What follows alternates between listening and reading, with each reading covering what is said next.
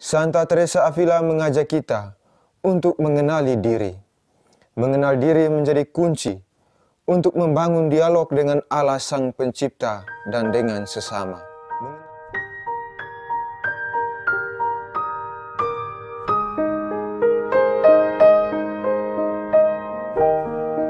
Inilah Injil suci menurut Lukas.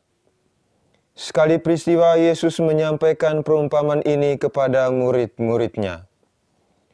Dapatkah orang buta menuntun orang buta?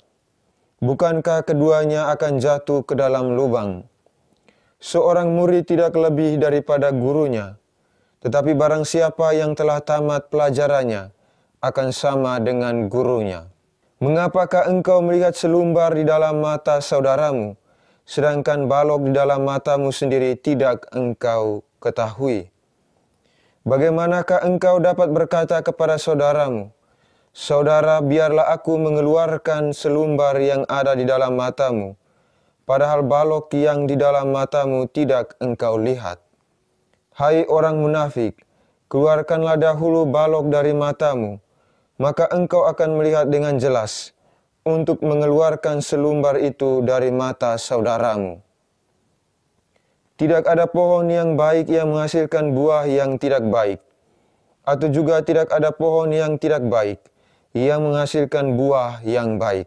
Sebab setiap pohon dikenal pada buahnya. Karena dari semak duri orang tidak memetik buah ara, dan dari duri-duri tidak memetik buah anggur. Orang yang baik mengeluarkan barang yang baik dari perbendaharaan hatinya yang baik, dan orang yang jahat mengeluarkan barang yang jahat dari perbendaharaannya yang jahat, karena yang diucapkan mulutnya meluap dari hatinya. Demikianlah sabda Tuhan.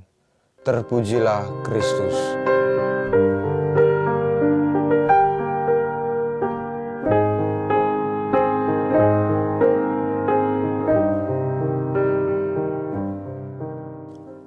Saudara-saudariku, para pencinta Karmelitu yang terkasih dalam Tuhan kita Yesus Kristus.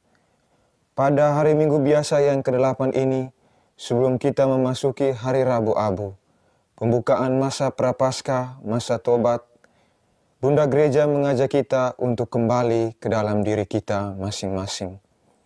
Seorang penulis pernah mengatakan bahwa perjalanan terjauh adalah perjalanan ke dalam diri sendiri, ke dalam lubuk hati dan batin kita. Dapatkah orang buta menuntun orang buta?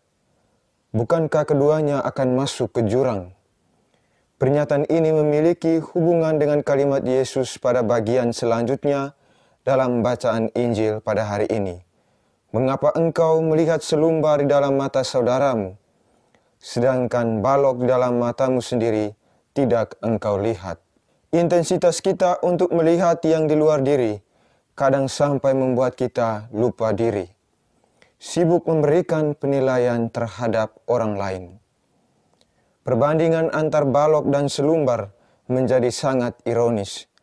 Balok yang besar tidak dapat dilihat, tetapi selumbar yang merupakan serpihan diperhatikan dengan sangat jeli. Rupa-rupanya Budaya kepo suka sibuk dengan yang bukan menjadi bagian dari hidupnya, juga mendapat perhatian. Saudara-saudariku yang terkasih dalam Tuhan kita Yesus Kristus, sebelum membuka mata yang lain yang buta, kita harus terlebih dahulu membuka mata kita sendiri. Kita diajak untuk menjadi penuntun yang baik. Namun sebelum menuntun orang lain, kita harus terlebih dahulu menuntun diri kita sendiri.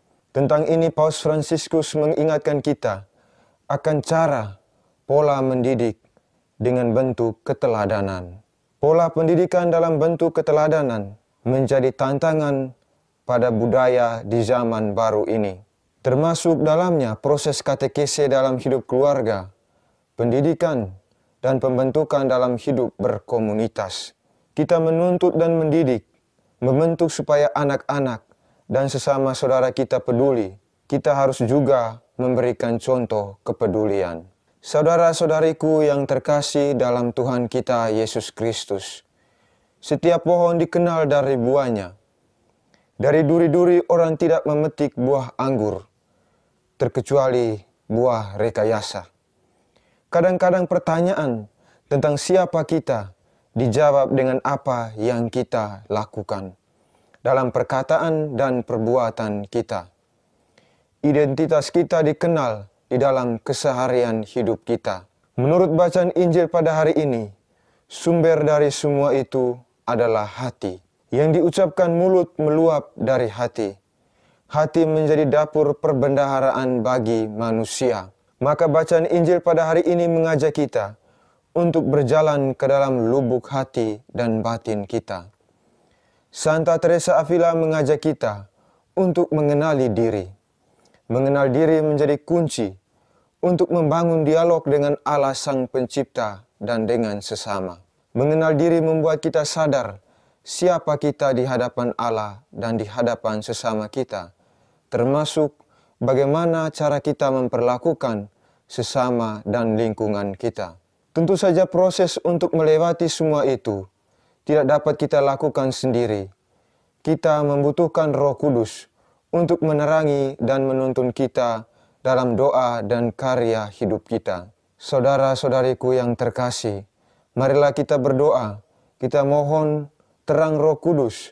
Semoga Tuhan membantu dan menolong kita untuk menjaga hati kita sehingga menjadi perbendaharaan yang baik.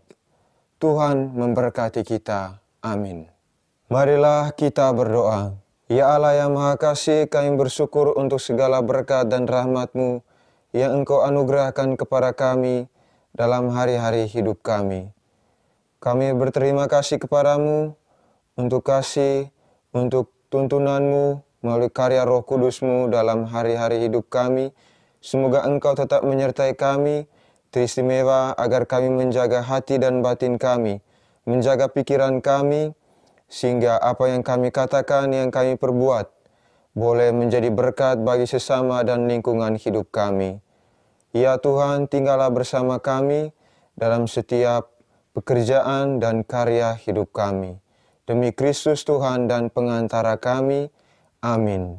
Dalam nama Bapa dan Putra dan Roh Kudus. Amin.